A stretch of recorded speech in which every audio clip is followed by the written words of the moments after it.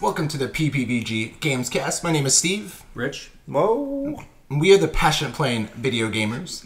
In today's episode, we are going to discuss a possible Atari console that the CEO announced that they're back in the hardware business. We'll give our reactions, what we think about Atari coming back. Then we'll talk about the Destiny 2 controversy of being 30 FPS for both Xbox One X and the PS4 Pro. See if there's a little something sketchy going on in the background. We'll give our opinions on that. But before we get into that, we'll talk about the Xbox One X and who the fuck is that console for? We've had a, over a week to try and comprehend that press conference from Microsoft. Hmm. So we'll give our thoughts of who is going to actually be marketed for this console and who's going to buy it besides me. You have one one customer and I'm admitting I'm a fucking idiot Total. for buying it. One total. Even Phil, Phil Spencer won't buy it. But we will start with our E E3 2017 awards. We have three categories the PPVG, the very prestigious PPVG E3 awards. We are going to cover Best Cinematic Trailer, Biggest Surprise, and our Game of Show. So let's start on a positive note. What was the biggest, your biggest surprise at E E3 2017? We'll start with you, Mo. Biggest surprise. Uh, it was Monster Hunter. yep, he was texting immediately. Oh my god! Oh my god, it's coming back to Sony! Yep, I was a schoolgirl. So why Monster Hunter over the other surprises that they announced? It's been um, it's been so long since they were on a on a bigger you know on the three con that that the game is going on on consoles just so everybody knows. But you know it's been so long since they've been on a like Xbox or PlayStation that uh, it's always been like just Nintendo three like the 3DSs in particulars, and it, it just I feel like the 3DS never took advantage of the actual. Um, it's it, the graphics are just too overhauled and also the gameplay. I feel like the bigger consoles would have benefited more from those games.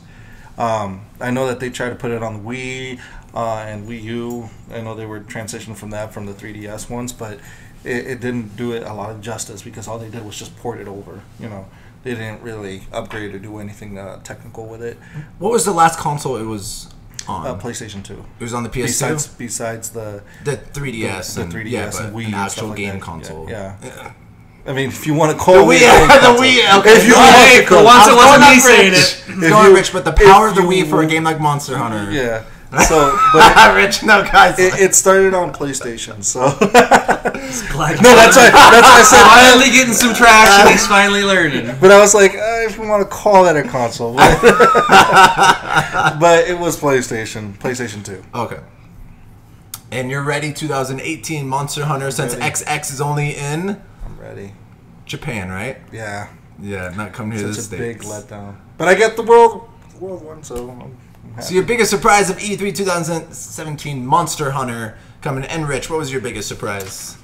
I don't want to be uh, repeating last week, and I don't want to be the downer, but I think everybody knows from last week what my biggest surprise was. Microsoft doesn't have a plan. That was my biggest surprise. So you actually thought they were gonna have it? Yeah, I, they had I shit together. I again, I was the conservative about what the X would be, but I thought that they would have a very clear direction of where they were going and how they were going to get there, and they would present that to us. And I don't think that any of that is true. I don't think they even know. So of course they can't communicate that to their customers or their developers because they don't fucking know either. So that was my biggest surprise: is the blind leading the the, blind. Yep, You know what? I thought they were gonna have their shit together too, and then I think all of us did. Um, yeah, that I'm was on the a same boat as huge, especially Huge how they you know they jumped the gun because they didn't want the, the the paying public. They wanted the press. They wanted to make sure that they controlled the stories and all that kind of stuff. And they obviously had talked to some of their partners which is why they were doing little Over a year they've been working with them. but they no but they were doing teases in other conferences of watch the microsoft one tomorrow or later on and you'll see the the like the anthem thing and they didn't have there's no plan there's nothing And like Mo kept saying, world exclusive. That doesn't mean Xbox exclusive. It just means this is the first time you saw the trailer. Yeah. That's not an exclusive. That's just the first time. Yeah. Marketing talk. Yeah. World exclusive. Notice PlayStation didn't do that when they announced Monster Hunter. Because they didn't have to. There's a reason why I was Just saying. so anti uh, my apparent flag. But. Microsoft waving was trying to hit that home, as in, what Yeah. exclusives do you have? Well, we'll just put it up on a little screen and say exclusive. Hey, look how many exclusives Sea we of have. Thieves. Yeah. Crackdown 3. Um, so a few surprises that I had uh, E3. Not my top one, but number three for me was Metro Exodus. That was a big surprise. Looks very good. More than likely, it will not look that good when it is released, but it got me excited. Uh, my number two biggest surprise, Skull and Bones from Ubisoft. That pirate game Yeah. got me very excited.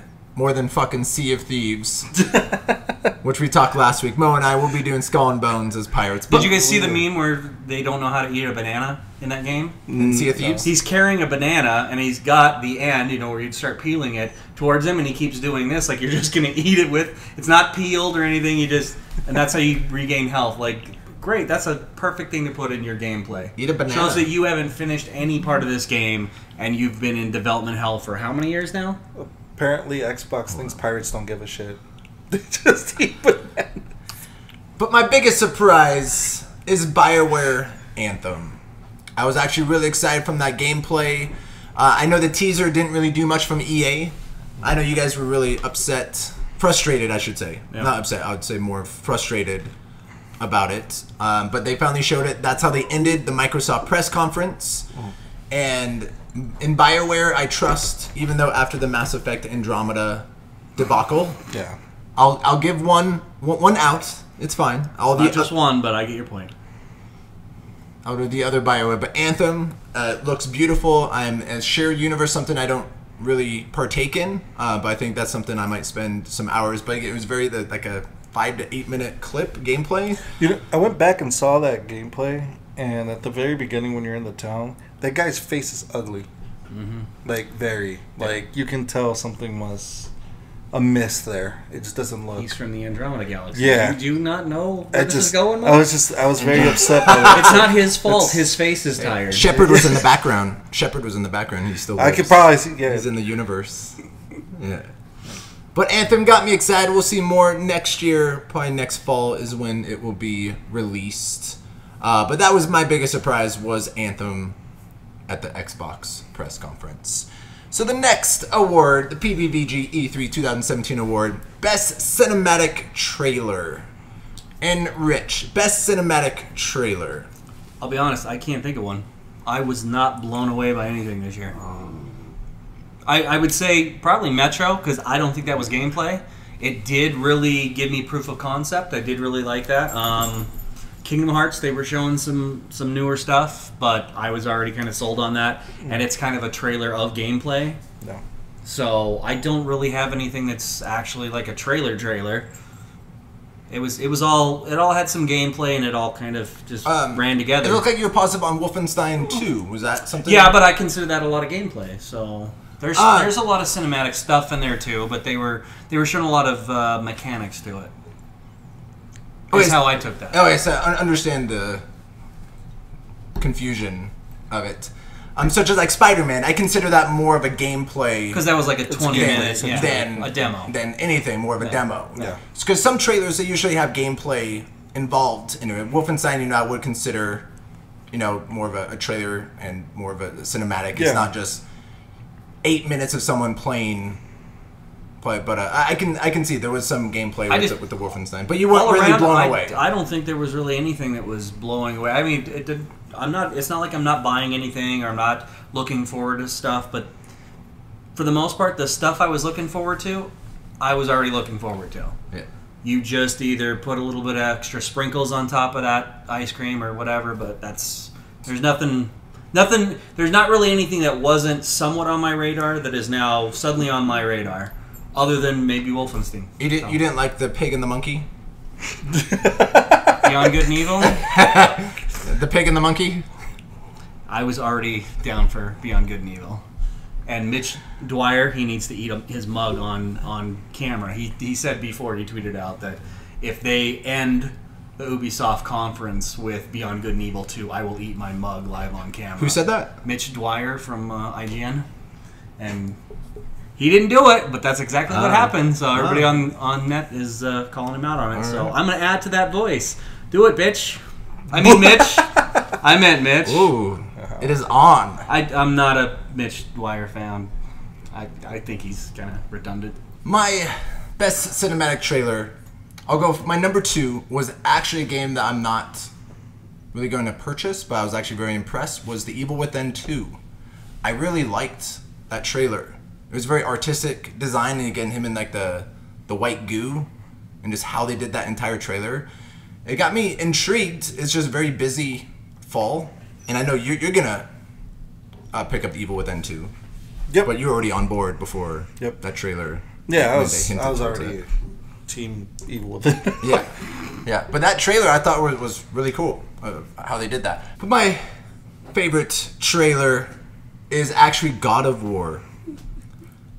I think they had a lot they had to do from last year when they showed him with his son just walking through. It looked beautiful. It showed some gameplay, but the trailer that they showed was a mix of sort of what the story might be, uh, of an idea, and it showed some of that gameplay as well in, in that trailer. And I really like the direction that they're taking it. It got me even more excited for the game, but to show more of how that gameplay is going to exist, different from the any other God of War game that we played because it's all been more action oriented and the camera was more a little higher up. Yeah. Compared to this game, it's more behind the shoulder, and it got me really excited. So that was actually my favorite trailer. And Mo, what was your cinematic trailer of E3 this year? Mine was uh, the Evil Within. Um, I know that they try to show some gameplay in there for you, but it, it really didn't consist of a lot. It was more of, hey, you you already saw this in the fir- you saw some of these characters in the first game, like the witch thing with the spider arms. It's it's she's creepy as shit, and they just showed her running at at the camera, and that's all they showed. But they didn't show what she actually does, which was one of my scare moments of that first fucking game. Like she's fucking terrifying, especially playing in the dark. Um, so it was mostly just cinegraphic, like the trailer. You know, that's all all it was. It, Yeah. Not a lot of gameplay. So um, I know how the game plays. It's good. I know it's gonna. They're gonna make this the same way that they made the first one. I don't know where the storyline goes from there though. So we'll see. And What I'm- about State of Decay 2? I know you're excited. Were you not impressed with that trailer? No, I wasn't. I thought it was okay. This is fine. Yeah, this is fine. Like more of the same, but bigger No, and she better? gets she gets saved from zombies and she gets in the back of the truck. Yeah. And she's just doing this this crappy Oh. painted And like, the, the, the funny thing is, she's getting like there's like five or ten zombies like Yeah. going at her. And then they're all doing like headshots around her. Like four guys open up Yeah. fire, shooting this whole crowd that's surrounding her, and she gets in the back of the truck and she just like. this is fine. She's all. I'm not to happy. rewatch it now. Yeah. Yeah, It's one of those her, her face miss is just and like miss it, but like you would not be that cool with what just she had like a smiley face emoji, Yeah. like just oh. go, yeah, it's weird. I was like, okay, you're about to that get eaten. You're that But happy. the Evil Within 2 is Yeah. the best cinematic trailer. No. All right, now the final PPVG E3 E award, our game of show, and I will go first. My game of show, starting with, so my favorite game that I'm most looking forward to this fall is Shadow of War. Um, so that's not my game of show. I was looking for something that I wasn't expecting and got me more excited. So the one game I'm looking forward to the most is Shadow of War, but my game of show is Super Mario Odyssey. The reason why is that cap I think is a game changer. And how you're going to and we'll get we'll get to you, Rich. I think that is a game change game changer in the gameplay that I did watch. I watched about 20 minutes of gameplay of Super Mario Odyssey, and even that trailer itself showed you what you can do, three or four enemies of how you can use your cap, and I thought it looked incredible. And even the gameplay as well that they had on the show floor and the treehouse I did watch that treehouse where they did show that 20 minute gameplay demo of him in the city Yeah. and what he's able to do with the cap. I got me even more excited, something I wasn't expecting, and I do think it will be a game changer for that game. Rich, what was your comment about Super Mario Odyssey? Oh, I was just gonna make a joke about did it count since they weren't actually there, but Yeah, they were on the show floor, Oh, so okay. I do have to amend my my joke was just a, a subtle dig. I have to take it back because he did make a good point. Like the Wii was not a, a game console, right? I didn't make that comment. Yeah, I. I think that's a, a question for another time. Is the Wii a legit game? No. console? Answered. and Mo, what was your game of show? Uh, it's going to be God of War. Just what they what they showed. Uh, I'm excited to see where where the story, how they connect this this time frame to the last, and how they showed a few things with the gameplay, how he fights, um, how they didn't involve the the little boy to transition so much that you're doing an escort mission. I I love that they debunked that in a way. Um, hopefully that's they stay true to that. Um, and we'll see. We'll see what happens from there. So, because that's what everybody was worried about was that it was going to be an escort mission from start to finish. Eight hour long escort like, mission. Not going to escort a, a son of a god, no, or demigod, but he's a god. Or son of a bitch. Dude, we don't know the mother. That's very judgmental. And Rich, what is your game of show? Um, I was gonna say Far Cry, but that was they kind of released a lot of that stuff before, and then was just a little bit extra on top. So I I, I don't want to give it there because they'd already kind of spoiled us the the week or two before that. So I'm gonna go with Spiderman. I think uh, that was the, an effective trailer. I think that they were telling me everything I needed to know as a, a fan of the games, as a fan of the property, fan of the comics.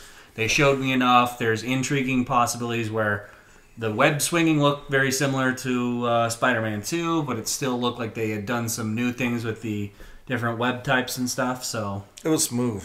yeah, It was very. That was my number two. I had number two wa- was Spider Man. Holy shit! I think that blew everyone out of the water of those expectations. And I did research who Miles was. Oh really? I had to do a. I, I've heard from from you who, who Miles was. I, I- have to research the- for then. Yeah. The fighting. You weren't there with It was me. the fighting mechanics that got me. I was just like, holy shit! Where he like, where he hits that guy off the edge and he like grabs him back and he Yeah. like saves him. That that type of shit. I thought it was because he could let him die. He Yeah. could let him just go. No, Yeah. Spider-Man couldn't do that. Well, Only the Man of Steel can do that. Not Superman, but the Man of Steel can do that. Like, There's a subtle distinction in my head. Fuck you, Zack Snyder. Too soon, man.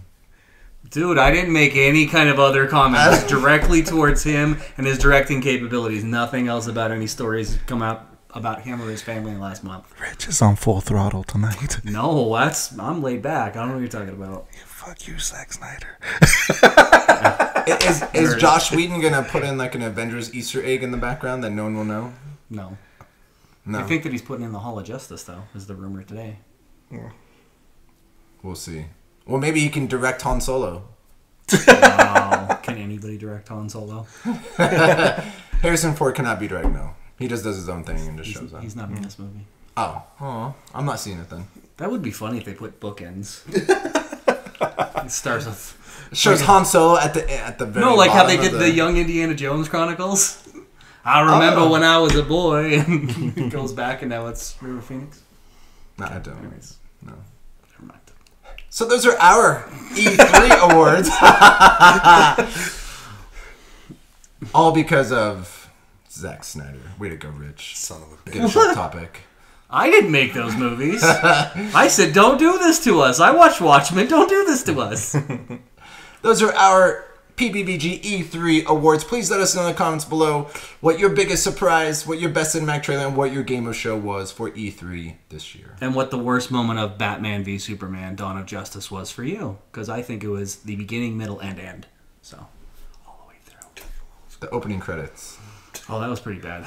Yeah, James Olsen.